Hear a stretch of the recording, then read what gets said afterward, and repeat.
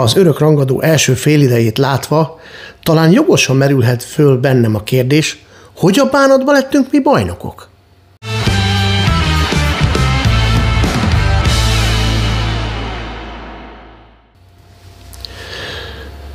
Ezt a videót kettő részre kellene, vagy lehet osztani. Az egyik részben elmondanám azt, ami tetszett, a másik részben pedig elmondanám, ami nem tetszett. Nem akarok minden szarista lenni, ezért azt gondolom, hogy esünk túl azon, ami nem tetszett. Ebben az összeállításban még nem lépett pályára a Fradi, de valahogy azt láttam, hogy összműködési zavar van, és még pedig azért, mert azok, akik most a pályára léptek, mint hogyha nem tudnák pontosan, hogy milyen rendezvényen vannak. Olyan zavarban voltak a játékosok, mint a szűzlányok az első dugás előtt. A hátvédeink, mint hogyha nem is ismerték volna egymást. Szóbeli utasítások, nem hang, tehát nem kommunikáltak egymással. Tehát olyan zavarban voltak, hogyha idejön most egy komolyabb csapat, ugye nem az MTK-ról van szó, jelen felállásában, hanem egy itt most ez egy tét meccs, és így játszik a hátvédsor, akkor kapunk egy laza ötöst. Ez nem tudom, hogy kinek a hibája, biztos vagyok benne, hogy a szakmai stábé is, hogy a, az egész keret lehet, hogy nem ugyanabban a rendszerben játszik, vagy, vagy, vagy én nem, nem, nem tudom. Tehát, hogyha valakit posztra becserélnek, sokszor ő sem találja a helyét. Mondanám el, ami viszont tetszett. Évek óta ugye zsinórban mi nyerjük a bajnokságokat, és akkor, amikor már megnyertük a, a bajnokságot, még általában volt egy három-négy mérkőzés, amit nem nagyon használtak ki a fiataloknak a, a úgymond beavatására a játékba, mindig csak ilyen időhúzó cserének használták őket, akár még biztonsági okokból is. Stankovics szerintem ebből a szempontból egy üdítő kivétel, mert annak ellenére, hogy nem játszottunk jól, ugye zsebben van a bajnoki cím, minden játékosunk úgy látszik igyekszik elkerülni a, az Európa-bajnokság vagy a nyaralás előtt a, a sérülést, Viszont Stankovics élt a lehetőséggel, és nagyon sok helyen változtatott. Kehindét is legalább láthattuk már egyszer végre játszani, Lisztes Krisztián is hirtelen előkerült, tehát egyébként érdekes gólt rugott a maga nemében, még, még szépnek is mondható a távolság miatt minimum. Tehát azt gondolom, hogy ebből a szempontból a Stankovics igenis jó döntést hozott, hogy még egy, akár még egy szoros mérkőzésen is be tudta hozni azokat a fiatalokat, akik majd esetleg a jövő Ferencvárosát alkothatják. Hát ezen a mérkőzésen viszont az derült ki, hogy ebből az egész csapatból Szervikian nagyon kiemelkedik. Tehát ő legalább olyan akarattal játszik, mint a Márkínyosz, csak én szerintem a, a tudása a jobb, vagy nagyobb, vagy előrébb tart, vagy nem tudom, minden esetre, hogyha ilyen intenzíven akar majd játszani, tehát a motivációja fönnmarad ilyen magas szinten, akkor azt gondolom, hogy borzasztó nagy erősítés lehet a Ferencvárosnál. Ha kiegészítjük majd olyan, kiegészítik majd olyan játékosokkal, akik körbeveszik őt a, a, a, a futó mennyiséggel, az akarata és tömik labdával, szerintem egy nagyon veszélyes támadó csapatunk lehet elől. Nagyon kíváncsi leszek, hogyha mondjuk tényleg most elviszik a, a, vagy a Varga Barnabást, vagy a, az Abufánit, akkor a mögötte levő szekció mennyire tudja majd erősíteni az ő munkáját. Az biztos, hogy a, a hátvéd soron erősíteni kell, bár azt gondolom, hogy Cissé, én szerintem ő jelen pillanatban a legstabilabb hátvédünk, és és a Dénes ugye kapusként, de azt gondolom, hogy nagyon sok erősítésre szükség volna, főleg, hogyha most a személy is távozik, hát nem tudom.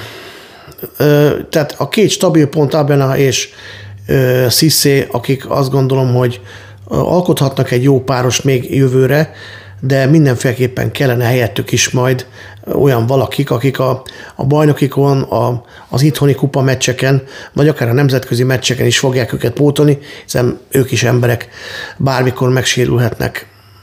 Azt gondolom ez a, ez a, ez a mérkőzés még akár azt is, mondhattunk, azt is mondhattuk volna, hogy akár egy megegyezéses mérkőzés is lehetett, de ilyen már biztos, hogy nincs az NB1-ben, hiszen a speaker első, vagy illetve a stúdióban ülőknek az első mondatait még hallottam, aztán utána elkezdtem készíteni ezt a videót, hogy tudta, tudta a Stankovics, hogy olyan mérkőzésen tudja majd a fiatalokat beállítani, ahol nagy valószínűséggel nem az fog dominálni, hogy egy húsdaráló működik a középpályán, vagy egymást agyonrugva fognak a, a hátvédek szerelni.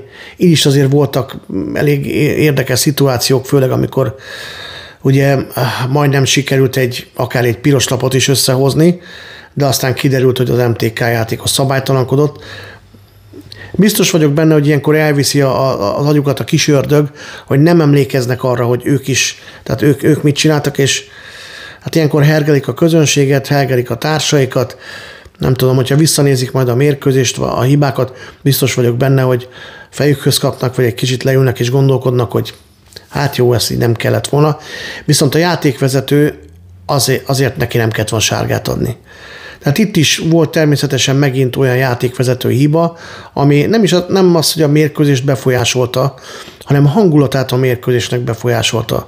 Észre lehetett venni, hogy utána a játékosok hát nem kicsit idegesen estek egymásnak, több olyan szabálytalanság is történt, ami előtte nem, bár azt lehet mondani, hogy legalább akkor nem folyt olyan békés mederben tovább a, a mérkőzés, de sajnos azt kell hogy mondani, hogy az örökrangadók mostanában, hát hogy ilyen színvonalon mennek le, hogy akkor a különbség van a két csapat között, hogy hallottátok, egyszer 6 1 egyszer 5 1 győztük le őket, és most így ez a kettő egy még akár hízelgő is lehet az MTK-ra.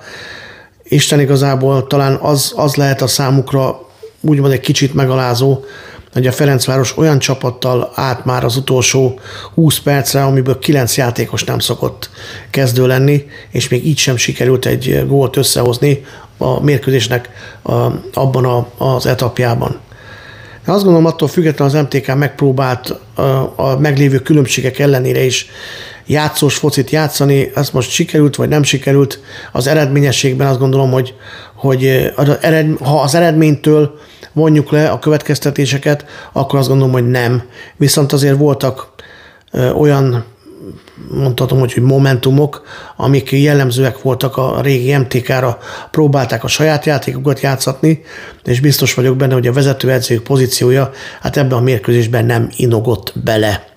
Úgyhogy biztos vagyok benne, hogy ővele folytatják majd a, a következő szezonban is, és azt gondolom, hogy az MTK-nak tényleg helye van, mindig is helye kellene, hogy legyen, minél több saját nevelésű fiatal játékos kellene az MTK-ba, amiről beszélt is a sportigazgatójuk nem is olyan régen, viszont több teret kellene nekik engedni.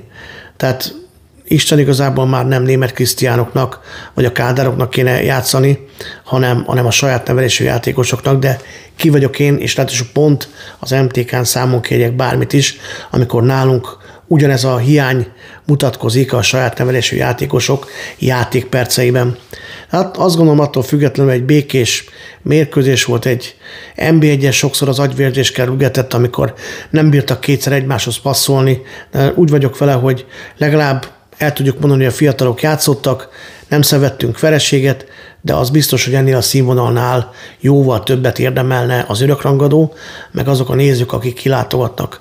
Mind az MTK, mind a Ferencváros oldalán többet érdemeltek volna a nézők, de hát ez adatot, a mérkőzés már lefutott, és lesz miről beszélni a holnapi nap folyamán. Egy valamit még el szeretnék mondani, hogy azok, akik azt gondolják, hogy mit törőjük a hozzászólásokat, azok nagyon nagyon tévednek. Már több videóstól is láttam, reagáltak erre a YouTube hibára, hogy egyszerűen hiába töltjük föl a videót és állítjuk be, hogy bárki hozzászólhat, Egyszerűen nem győzöm fél óránként visszakapcsolni szinte az összes videónál, de főleg az új feltöltéseknél, a kommentelési lehetőséget. Egyszer nem tudom, miért csinálja ezt a YouTube, de kaptunk tőlük már üzenetet, illetve ugyanúgy, mint mindenki, aki szokott tartalmakat gyártani, hogy dolgoznak a hiba elhárításán. Úgyhogy még egyszer azt szeretném kérni, hogy kérek szépen ebből a szempontból legyetek türelmesek, nem mi törölgetjük a hozzászólásokat, nem mi kapcsolgatjuk ki, hanem ez a YouTube hibája. Holnap találkozunk az összefoglaló videóban a Szabolcsal, addig is hajrá magyar foci és hajrá magyar szurkolók. Sziasztok! Érdekel a véleményetek. Kommenteljetek. Mások véleményére kíváncsiak vagytok? Osszátok meg ezt a videót. Ami ha tetszett, Akkor lájkoljátok. és ha esetleg még ezen túl anyagilag is szeretnétek minket támogatni. Akkor a szuper köszönettel vagy a leírásban található bankszámla számon direktben is tudtok bennünket támogatni. Köszönjük!